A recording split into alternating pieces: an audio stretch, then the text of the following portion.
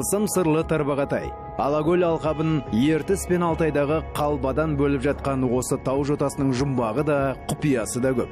Тарбағатай жотасындағы кез келген төбеге шықсаң алтай тауларын көре аласың. Ал мынау оңтүстік сібір. Осы әртүрлі зоогеографиялық зоналардың тоғысқан жерінде ландшафттар ғана емес фаунаның да неше түрі қиылысады. Тау етегінен оңтүстік ендіктің өкілі қырғауылдарды кездестіруге болады. Ал тауға қарай сәл көтерілсең туындыра шілін көресің. Тянь қылқан жапырақты орманы сібірдің сағыз қарағайымен осы жерде кездеседі. Сондай ақ аюдың тянь ақтырнақты және кәдімгі қоңыр аю болып бөлінетін екі түршесінің таралу аймағы да осы жерде қиылысады. Аудыр kz командасы осы бір ғажап өлкеге баруды көптен армандап жүрген еді. Міне ақыры тарбағатай мен сауырдағы жануарлар дүниесінің ахуалына мониторинг жасайтын халықаралық экспедицияға қатысудың реті келді. Сонымен астанадан өскеменге дейін ұшып барып әрі қарай көлікке мініп тауға аттанатын болдық. Экспедицияның құрамында шығыс қазақстан облыстық орман шаруашылығы және жануарлар дүниесі аумақтық инспекциясының бас маманы дамир хамидуллин бар. Экспедицияның үйлестірушісі биолог өркен шаймұхамбетов. Ғылыми жетекшісі халықаралық табиғатты қорғау одағының мүшесі. Түрлерді аман сақтап қалу жөніндегі сарапшы биолог штефан михель. Және гис технология маманы жас биолог айбат мұзбай бар экспедиция мүшелеріне гид болу аңшылық танушы жалын мұратұлының мойнында. Команданың жол көрсетушісі нағыз мықтының өзі миша калмагоров бұрынғы кәсіби аңшы. Бұл жердің ұңғыл шұңғылдарын бес саусағындай біледі.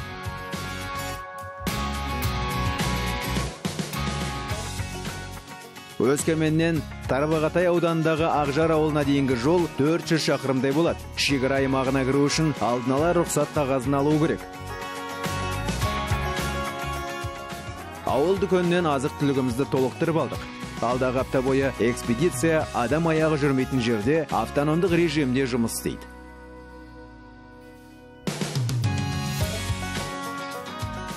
Тарбағатайдағы қар белдеуі ауа райына байланысты көтеріліп төмендеп отырады. Кеше түні бойы қар жауғандықтан бүгін төмендеп тұр. Жел солтүстік беткейдегі сай салаға қарды үріп тастапты. Бірақ біз өтіп кетуге тырысамыз.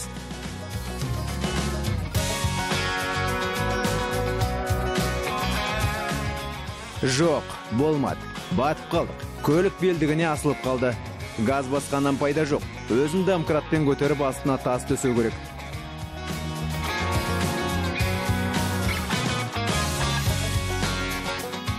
Болған сияқты. Қарды беткеймен айналып өтуге тырысамыз. Бәрекелді өттік.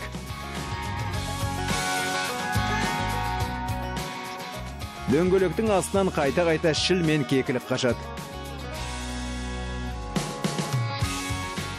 Кекілік шіл тәрізділердің тұқымдас тармағына жатады. Оны бүйіріндегі ақ қара түсті қиғаш жолақтарына қарап сақалды немесе сұр шілден оңай ажыратуға болады. Кекіліктің тамағында көзі мен маңдайына дейін жететін қара жолақпен көмкерілген ақшыл дағы бар. Тұмсығы қызыл ал көзінің айналасы алқызыл түсті. Ал шілдің арқасы көлденең жолақты қоңыр бауыры сұр болып келеді. Басының екі жаны тамағы бүйіріндегі қиғаш жолақтары жирен түсті. Қораздардың ақшыл бауырында қоңыр дағы болады. Ал мынау тундра шілі. Негізі бұл шіл деп аталғанымен құр тәрізділердің тұқымдас тармағына жататын құс. Эволюциялық шежіреде шілден гөрі қара бауыр мен саңырау құрға жақындау. Құр тәрізділердің бәріне тән қасиет аяғына да қауырсын өседі. Яғни балақ жүні болады.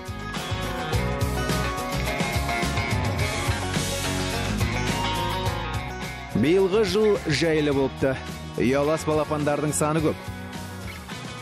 Ғалымдар ұялас балапандар санының ауа райына тәуелсіздігін әлі толық зерттеп біткен жоқ. Бірақ екеуінің арасында байланыс бар екені дәлелденген.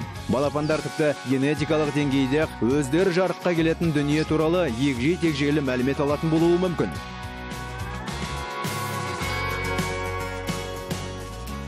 Еліктер тарбағатайдың етегінде өзендердің қалың бұта басқан жағалауында жүргенді жақсы көреді.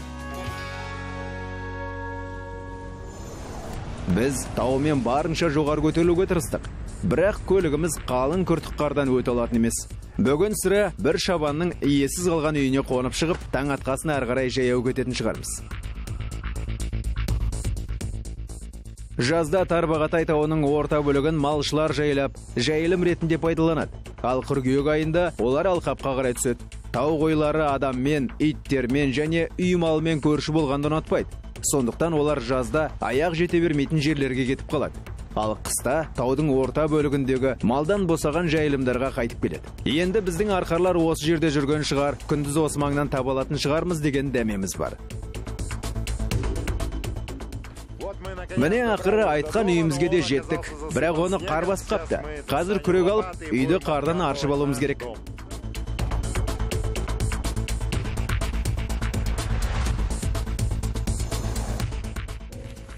Біздің отеліміз иә отель біздікі. Тек ішінде қар көп екен. Бірақ амал қанша?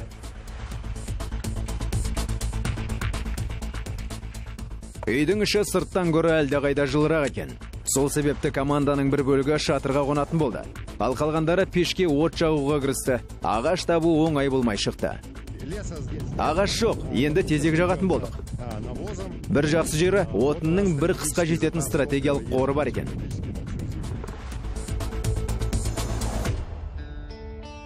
Енді түскі астың қамын ойлайтын кез келді. Оған штефанның сақтағаны бар сияқты.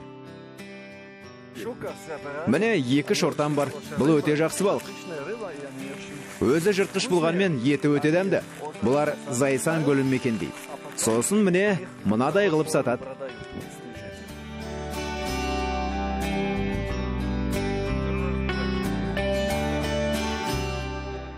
Біздің жол көрсетушіміз миша калмагоров ол кеңес заманында осы жерлерде кәсіби аңшы болып істеген суыр аулаған.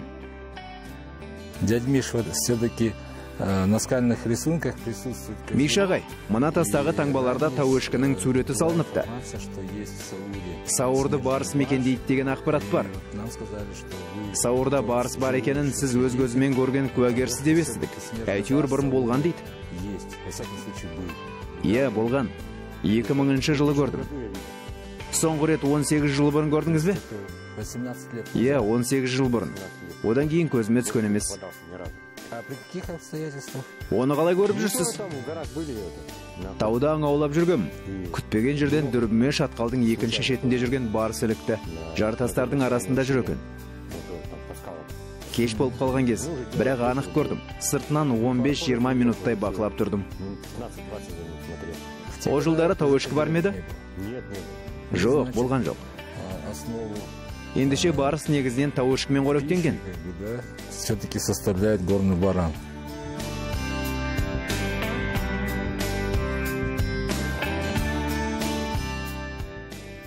Ғалымдар өз зерттеулерінде жергілікті тұрғындардың арасында сауалнама жүргізу әдісін жиі қолданады.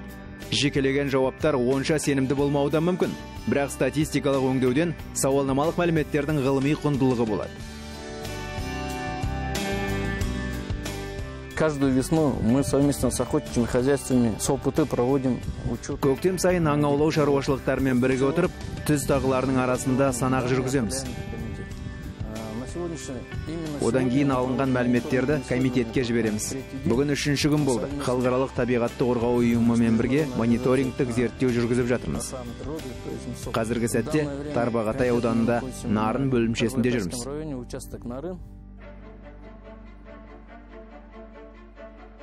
Таң атқасын осы топ екіге бөлініп жолға шығады.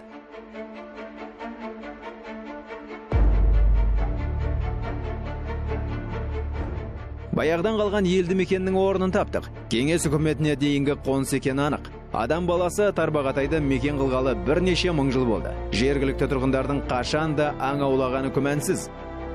Бірақ олардың жабайы табиғатқа деген қарым қатынасы ешқашан шектен шықпаған. Тарбағатайға 20 ғасырдың басы мен ортасында келіп кеткен саяхатшылардың мәліметі бойынша ол заманда арқарлар өте көп болыпты малшылар бытыралы мылтықпен аңға шыққан. Бірақ олардың джип көлігі түнде көретін тактикалық көздеуіші теледидары қар көлігі квадроциклі мен тікұшақтары болмаған. Жабайы табиғат ынсапты аңшылықтың қысымына төтеп бере алады. Бірақ заманауи техникалық прогресс бар күшін салған кезде сыр береді.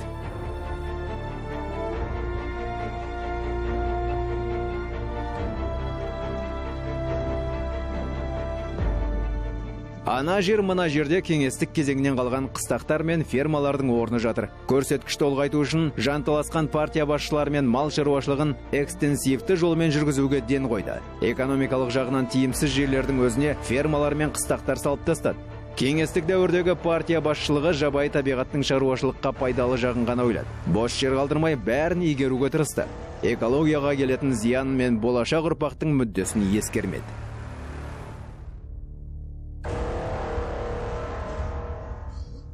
Сол кездерде орман шаруашылығына айналаны көріктендіру деген термин енгізілді. Ол тұмса табиғаттың қақ ортасына апарып қолдан бастырма аула немесе түрі жаман бетон мүсіндер сияқты әртүрлі нәрселер салу дегенді білдіретін ал қазіргі экологиялық саяхатшылар ондай көріктілерді көргенде мысқылдап күледі де қояды.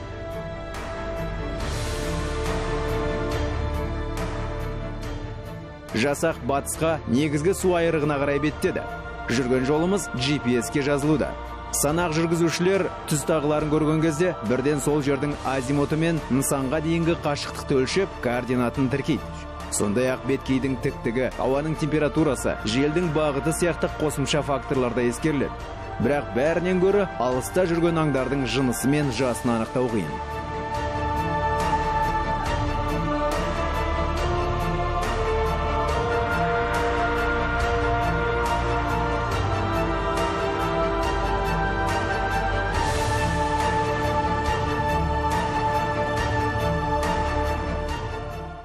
Таудың ортан бөлігіндегі жайылымдар артта қалды. Санақшылар тобы шоқыға көтерілді. Айнала қар басқан кең алқап. Жабай өлке деген осы шығар. Оның көлемі айбыны көз тоймайтын көркі адамды қайран қалдырады. Қазақстан үкіметі осы сұлулықтың біраз бөлігін сақтап қалмақшы болып батыс макробеткейде тарбағатай ұлттық паркін құрды.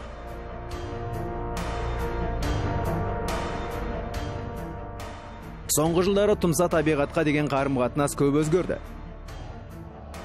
Тәуелсіз қазақстан жасыл экономика құру қалпына келетін ресурстарды пайдалану және туризмді дамыту бағытына көшетінін жариялады. Осы бағыт аясында жабайы табиғаттың айтарлықтай үлкен аймақтары эстетикалық қана емес экономикалық жағынан да құндылыққа ие болды.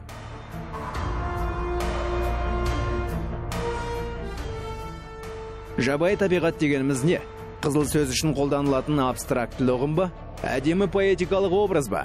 Кейбір елдердің юриспруденциясында жабайы табиғат шаруашылық әрекеттерінен зардап шекпеген сол ортаға барған адамдардың эстетикалық ләззат алуына арналған жерлерді белгілейтін арнайы заңды термин. Жабайы табиғат аумағының қорықтар мен ұлттық парктерден айырмашылығы бар. Ондай жерлерде аң аулау балық аулау экологиялық туризм деген сияқты демалыс түрлеріне рұқсат етілген. Бірақ жергілікті ландшафтты флора мен фаунаның ахуалын өзгертетіндей әрекеттердің кез келген түріне тыйым салынады. Ондай жерлерде жол төсеуге баспана салуға көлікпен жүруге болмайды. Жабайы табиғаттың жері туралы идеяны шығарған көрнекті эколог аңшылық танушы және жазушы олда леопольд. Өткен ғасырдың 30 жылдары түз тағыларына аздап жер қалдыру туралы әңгіме көтерген үшін оған техникалық прогресс жолындағы бесінші колонна деген ат берді. Бірақ арада көп уақыт өтпей ақ олдо леопольдтың идеясы ғалымдардың сайлаушылар мен заң шығарушылардың санасын оятып көңілдерінен орын алды. Бүгінде оның кітаптары миллиондаған тиражбен сатылады. 1964 жылы ақш жабай табиғат туралы ал 1968 жылы жабайы және көрікті өзендер туралы яғни ондай өзендерде бөгет су таратқыш суағар электростанция электр тарату желілерін салуға тыйым салатын заң қабылдады.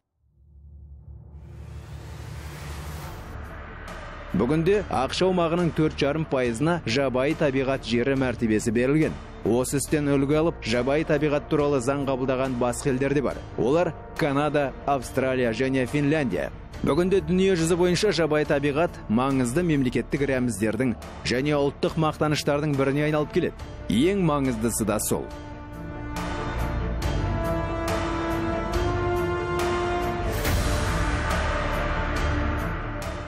Еуропада аңшылық шаруашылықтары жақсы дамыған. Өнімділігі жоғары сондай ақ қорығысы де жолға қойылған.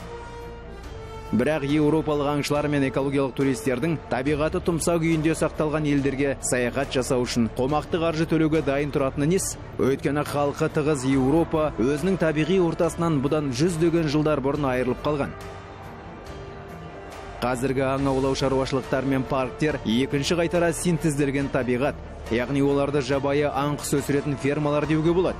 Сөйтіп халықтың шынайы тұмса табиғатқа деген құштарлығы жыл өткен сайын арта түсуде. Демек табиғи туризмді орнықты түрде дамытуға мүмкіндік бар деген сөз. Я являюсь э, членом комиссии по выживанию видов Международного союза охраны. мен халықаралық табиғатты қорғау одағындағы түрлерді аман сақтап қалу комиссиясының мүшесімін. Біздің комиссиямыз бұдан бірнеше жыл бұрын одақтың жануарлар дүниесін соның ішінде сирек кездесетін және қызыл кітапқа енген түрлерді пайдалану жөніндегі ресми ұстанымын тұжырымдады. Егер белгілі бір аңды аулау адамның сол түрді аман сақтауға деген ынтасын арттырса сол іске пайдасы тисе оған қаржылай көмек әкелсе оны құптау керек. Көп жағдайда аңды аман сақтап қалу үшін оны аулауға бір жола тыйым салғаннан гөрі осындай ынсапты тиянақты пайдалану көбірек мүмкіндік береді.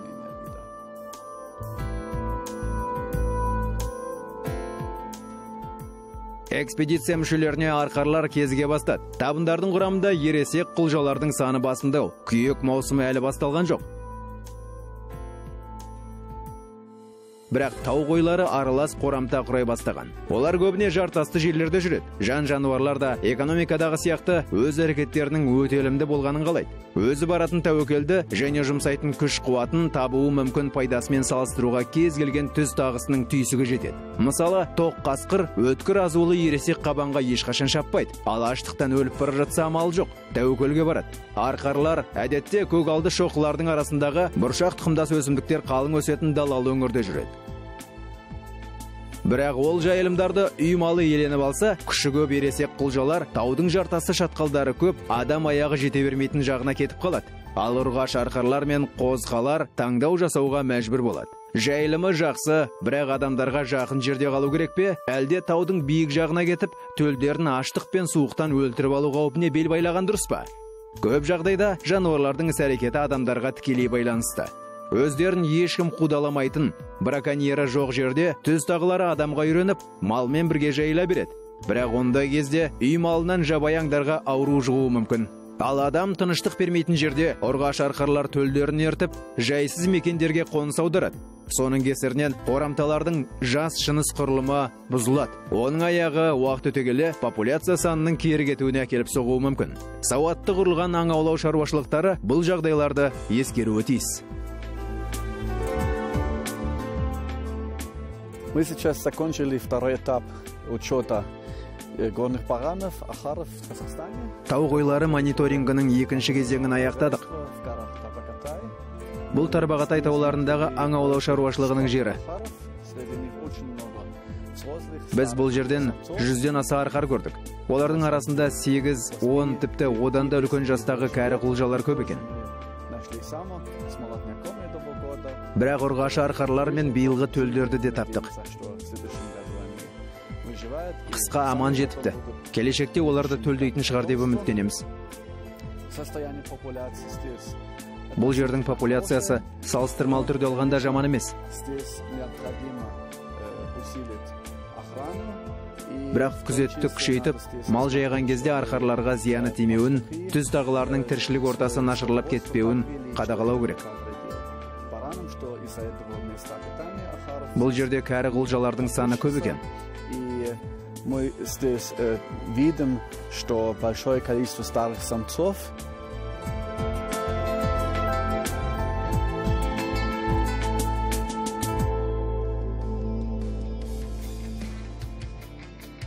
экспедиция бір аптаның ішінде 100 мың гектардан аса жерді тексеруі тиіс. Бұл өте үлкен аумақ. Сондықтан асығу керек. Тебіске мен ақжел өзендерінің қосылған жеріндегі кордонға қорықшының үйіне қонып шығамыз деп жоспарлаған едік бірақ қорықшы ауылға кетіп қапты. Сондықтан тағы да шатырға түнеуге тура келеді. Бұл өзен өзінің ірі көкбас балығымен әйгілі. Жорық рационын балықпен түрлендірсек те болар еді. Әттең қармақ алмаппыз. Өзен бойындағы жартастарға тауешкінің суреті салыныпты. Негізі тауешкі мекендеуге лайықты жер екен. Бірақ оны бұл жерден көнегөз қариялардың өзі бірде бір рет көрмеген. Тарбағатайдың бір жұмбағы осы. Сірә бұл маңдағы тауешкілер көне замандарда жойылып кетсе керек.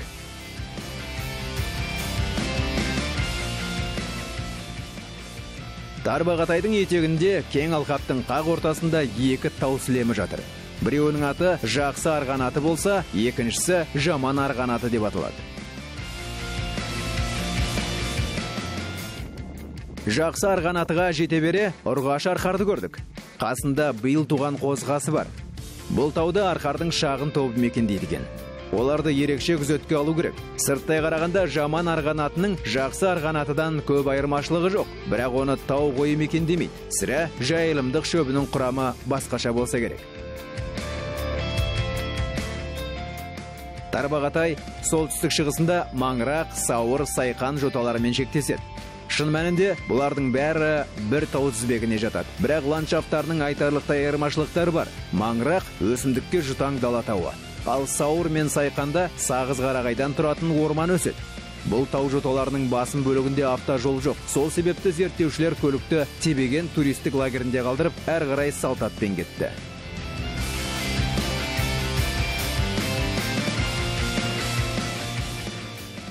Жазда атқа мініп тауар аласаң ұзақ уақыт жүре беруге болады. Ал қыста жылқы малы жайылымның шөбімен 3-4 күннен артыққа шыдамайды А, Вот мониторинговая группа выезжает на маршрут. Сегодня міне мониторинг жүргізетін топ алға шықты біз екі топқа бөлініп жалпы есебі 40 шақырымдай болатын жерді аралап қайтуымыз керек.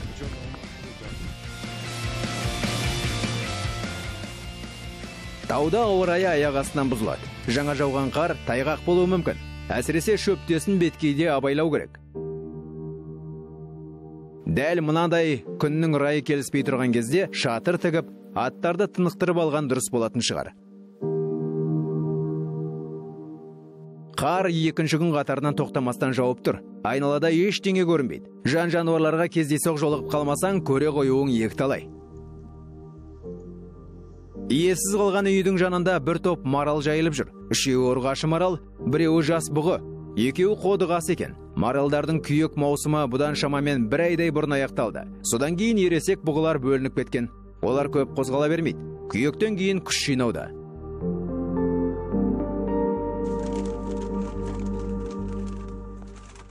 Мынадай ауа райында ішінде от жанып тұрса ең жаман үйдің өзі ең жақсы шатырдан әлдеқайда артық. Жасақтағылар аңшының жартылай қираған үйіне қонып шығатын боп шешті. Мына жерде адам тұрмағалы көп болған сияқты.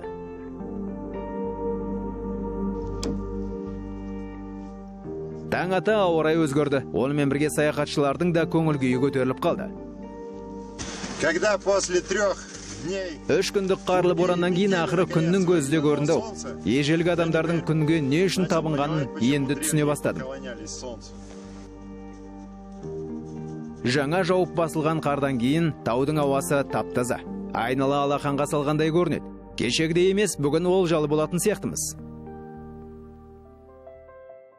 Боран кезінде ашығып қалған түз тағылары өте белсенді. Таңның атқаны жаңа болса да тау беткейін айқыш ұйқыш із басыпты.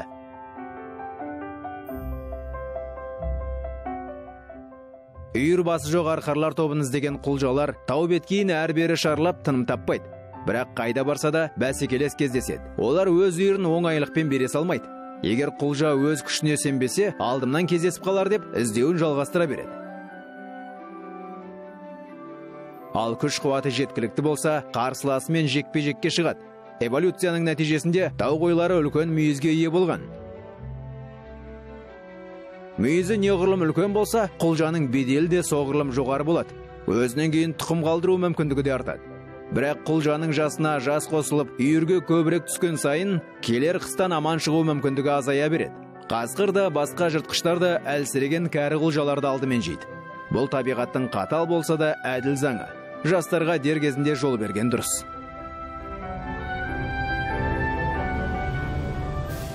Өркен ана бір құлжаны суретке жақсылап түсіру үшін қасына жақынырақ бармақшы. Түз тағысы оның қимылын байқап қалды. Басқа кезде болса баяғыда қашып кетер еді. Бірақ қазір бойындағы гармондық өзгеріс өз өзін сақтау түйсігін бәсеңдетіп тұр. Кім біледі? Мүмкін арқар келе жатқан шығар. Арқарларды бізден басқа да аңдып жүргендер бар. Мынау сілеусін ғой. Оның ересек арқарға шамасы жетпейді. Ал бір жарым жастағы қозғасы іздегенге сұрағанның дәл өзі. Бірақ ол әзір үйірде. Құлжаның қорғауында жүргенде ештеңеден қорықпаса да болады. Дегенмен сілеусін өте шыдамды қанша керек болса сонша уақыт күте алады. Сілеусіндер кеміргіштермен ұсақ құстармен еліктермен және тау қойларының жас төлімен қоректенеді.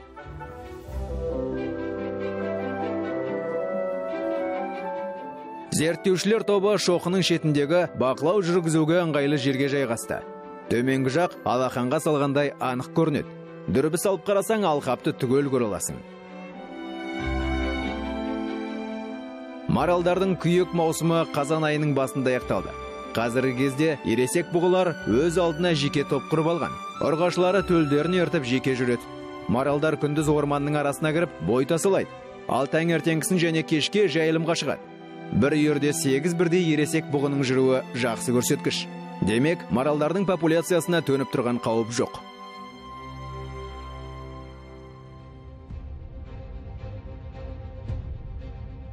Ал жабайы шошқалар әлі күйлеп бітпепті. Әр үйірді бір бір қаһарлы қабан басқарады.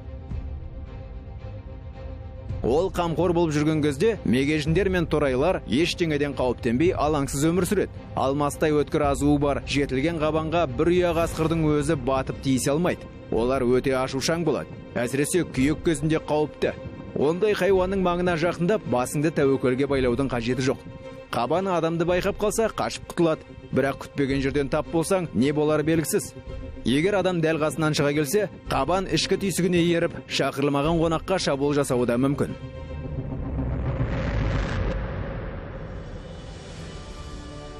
Сауыр тарбағатай тау жүйесінің адам аяғы тие бермейтін алыс түкпірлері оның көз тоймайтын көркі өте бай жан жануарлар дүниесі саяхатшыларға ерекше бір көңіл күй береді. Не қорқуды не шаршауды білмейсің тек қайран қалумен боласың. Екі аптада көрген ғажап көркем дүниелеріміздің көптігі сонша бүкіл өмірімізге жететіндей естелік қалды. Тұмса табиғаттың құшағына еніп осындай сұлу жерлерді көру екі саяхатшының біріне бұйыра бермейтін бақыт. Алайда қайтатын уақытымыз болды. Әлі жинаған мәліметтерді өңдеп карта құрастыруымыз керек.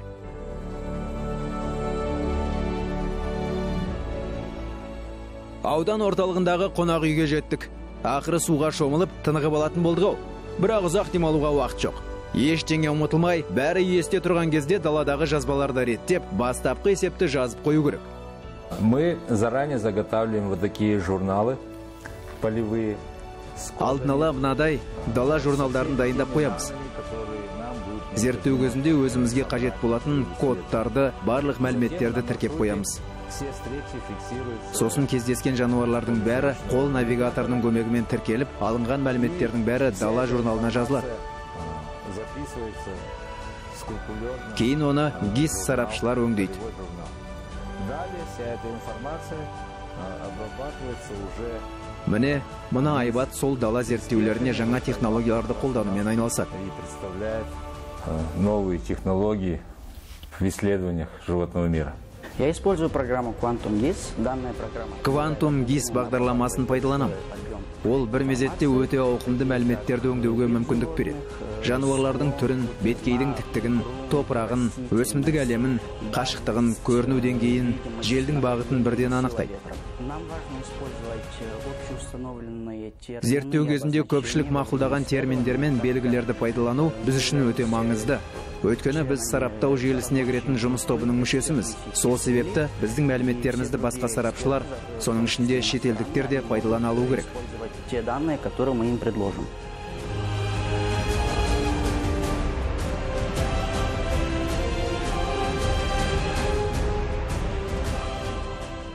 тарбағатай тауына жасалған экспедицияның түсірілім тобын тәнті қылғаны сонша біз көктемде тарбағатайдағы альпі белдеуі алуан түрлі гүлге бөленіп құстар келіп суырлар мен аюлар інінен шығып өзендердегі семіз көкбас балықтар қармақ қабуға кіріскен кезде қайта оралмақшы болып шештік